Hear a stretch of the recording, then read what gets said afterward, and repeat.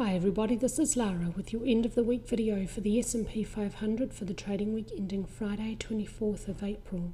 I'm still expecting overall this bounce to continue possibly for a few more weeks. The target zone remains the same, 3069 to 3261.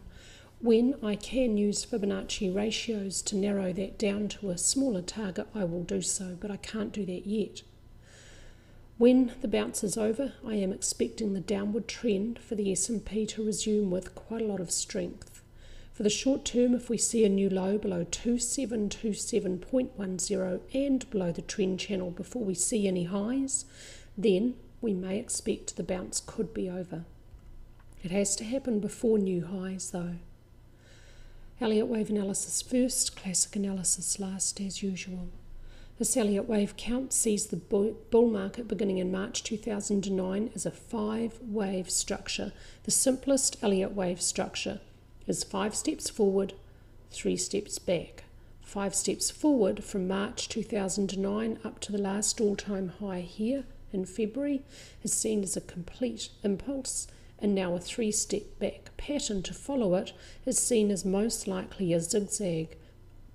The five steps forward is labelled cycle wave 1, the three steps back is labelled cycle wave 2.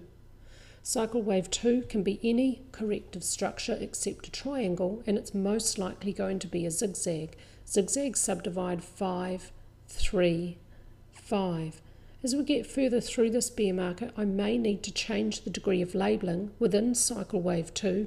Early on in a new trend, getting the degree of labelling right is the most difficult thing to figure out. I may need to move this degree of labelling down one degree. It is possible that wave A may not be complete and it may be continuing lower, and this could just be wave 1 within wave A. And we do have an alternate wave count which looks at that possibility but there are, is another important difference too. Whether this is wave A or wave 1, the rule for the bounce is the same. Wave B of a zigzag may not move beyond the start of A. Wave 2 of an impulse may not move beyond the start of 1. So for both ideas, the invalidation point is back at the all-time high. The target here is for cycle wave 2 to reach down to the 0.618 Fibonacci ratio of cycle wave 1 and cycle wave 2 may not move beyond the start of cycle wave 1 below the beginning of the bull market from March 2009. Let's take a look at the structure of cycle 2 and how it may be unfolding at the daily chart level from the all-time high back here, which is this point up here. From this high to this low, this downward movement does fit very well as a five-wave impulse, and so I'm going to label this so far wave A, and I'm going to label this bounce wave B. A couple of weeks ago I took some time to look at the normal depth and duration of bounces, the first major bounce within a bear market. I looked at the dot com crash and I looked at the global financial crisis. I looked at all the major bounces within that to look at what to what to look for to see when they may be complete. And then I also paid particular attention to the first two major bounces in those bear markets and I noted that they were particularly deep. And here's the range. If primary wave B of this bear market follows the pattern of the last two and it's particularly deep, here is a range that it may reach up to from 0.73 to 0.89 the length of primary wave A. So that's how I've calculated the target zone. Primary wave B may subdivide as any corrective Elliott wave structure, including a triangle, but it would most likely be an impulse, and so far from this low on up, it looks like, sorry, most likely be a zigzag. So far from this low on upward, it looks like an impulse may be unfolding, which would indicate primary B may indeed be a zigzag, because zigzags subdivide 5, 3, 5, and they are, by quite a wide margin, the most common Elliott wave structure. And so it may be the only wave A of this bounce may be nearing completion, possibly to end next week, and then a downward or sideways movement for wave B may unfold, and then a final five wave structure up for wave C may end somewhere in the target zone. If we do see a five wave impulse complete early next week with a new high above this point and preferably above this point, but it only needs to be above this point so that 5 moves beyond the end of 3. If that does happen, then I would have more confidence in this labelling. I've drawn a channel here around intermediate wave A using Elliott's first technique. I've drawn the first trend line from 1 to 3 and placed a parallel copy on 2. 4 so far remains contained within the channel. 5 may end about the upper edge of the channel or it could end about midway in the channel.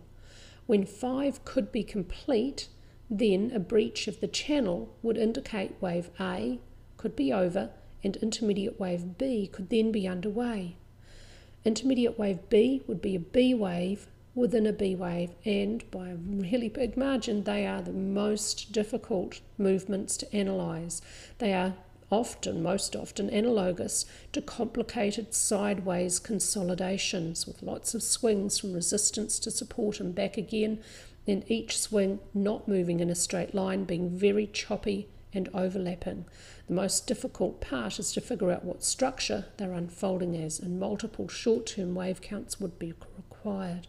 It may find support now at the lower edge of this big multi year channel, which is really important. It provided resistance here. Resistance was broken through. We may be about to see a back test of support there for intermediate B. When I know where primary wave B may have ended, then I can use the Fibonacci ratio between A and C to calculate a target for the bear market to end. At that stage, this target may change or it may widen to a small zone as I can then calculate the target not at just one but at two wave degrees.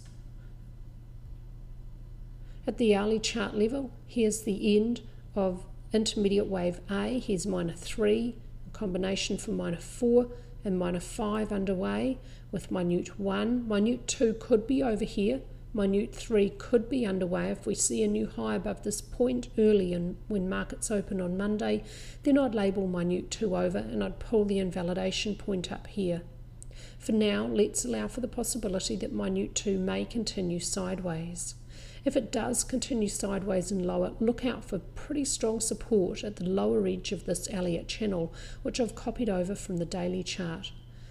When minor 5 moves beyond the end of minor 3 and preferably beyond the price extreme of minor 4, as soon as we get new highs above this point and the structure of minor 5 could be complete, look out for the possible end, probably next week, of intermediate wave A. When that's done, we'll then be looking for choppy, overlapping, complicated movement for intermediate wave B to really test our patience. When B is over, then C should then continue on upward. Minute 2 may not move beyond the start of 1. It is possible that the bounce could be over. Obviously, a new high above this point would invalidate this idea pretty quickly, and that only needs to be a breach by any amount at any time frame. A fraction of a point on a tick chart is enough to invalidate this wave count. Minute 2 may not move beyond the start of 1. This wave count is possible, but it doesn't have a lot of support from classic analysis, and while price remains within the channel, which I've tried to draw in the same way, we should assume that for the short term, the upward trend remains the same. If we see a breach of the channel and a new low below this point, while this wave count remains valid, while it has not been invalidated, if we see a new low below this point, then we can seriously consider it at the daily chart level, if we move the degree of labelling within the whole of that bull market all up one degree, instead of just a first wave being complete, the whole structure for Supercycle 5 and Grand Supercycle 1 could be complete. The all time high back here could have been a once and multi generational trend change, and an absolutely huge bear market may just be in its very early stages. Sadly, the confirmation point is a long way away. The first daily chart expects a continuation of the bear market, but for it to be over in another, possibly another year or two.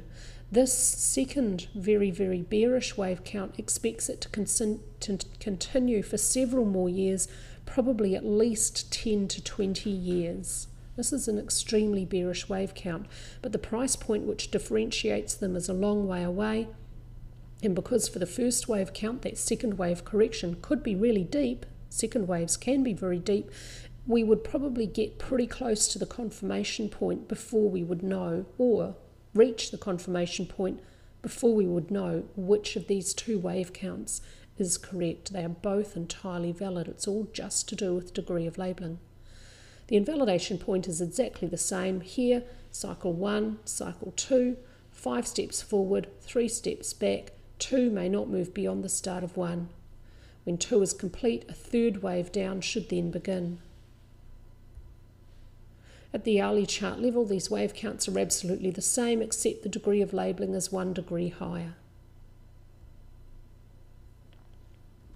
At the weekly chart level this week completes an inside week which is closed red. There's a bullish long lower wick, but overall this is a doji sideways movement indicates a balance of bulls and bears and indecision and it's pretty normal to see these kind of doji within a movement on its own it is not a reversal signal overall downward movement within the week does not have push from volume on balance volume is at weak support. This may help halt a fall in price, but it doesn't necessarily have to because the support is fairly weak.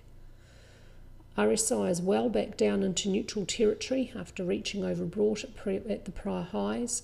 ADX indicates a downward trend which is still extreme. It's based on a 14 week average. This is a weekly chart.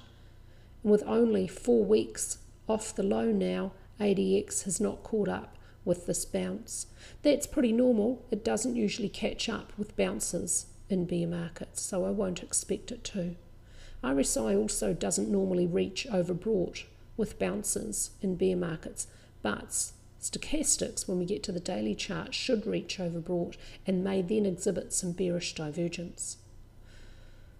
At the daily chart level, let's see, stochastics is reach has reached overbought. It may remain there for a bit longer. Let's see if it gets fully back up into overbought and then starts to exhibit some bearish divergence. RSI may not reach into overbought at the daily chart level either with this bounce. It doesn't always reach overbought in bounces in bear markets.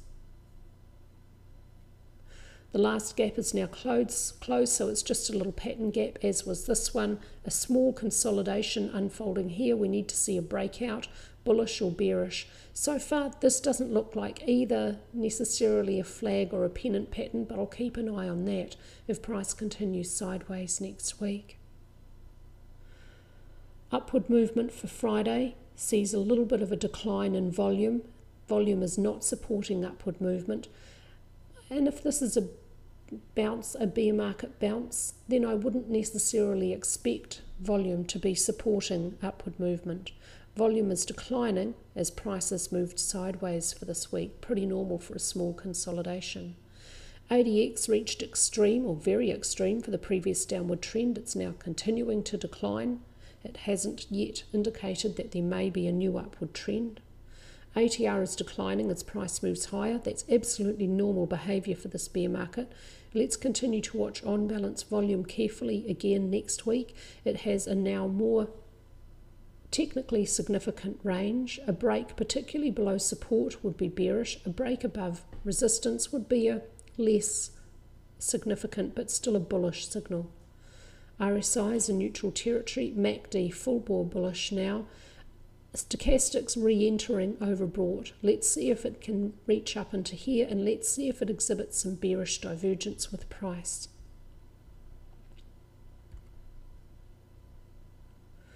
At the weekly chart level this week, I'm not going to expect this, I'm not going to read this as any divergence with the AD line. An inside week closes red, the AD line slightly declines, and so it agrees with downward movement within the week. There was a little bit of a decline in breadth with downward movement within the week, no divergence there. At the daily chart level, prices moved higher for the last three days, as has the AD line. Neither have made new short term highs. There is no short term divergence. But between price and inverted VIX, there is. Inverted VIX increased this week while price moved sideways. Downward movement within the week does not come with a normal corresponding increase in market volatility. Market volatility has declined, and I am interpreting this as bullish divergence for the short term, which would support the Elliott wave count. At the daily chart level as well, inverted VIX has made a new short term swing high, but price hasn't managed to make a corresponding high. Upward movement has a more than normal decline in volatility, and so I expect reading volatility as a leading indicator. This divergence is bullish for the short term and supports the Elliott wave count. That's all from me this week with your S&P analysis. I hope that all of our members are staying safe and staying healthy.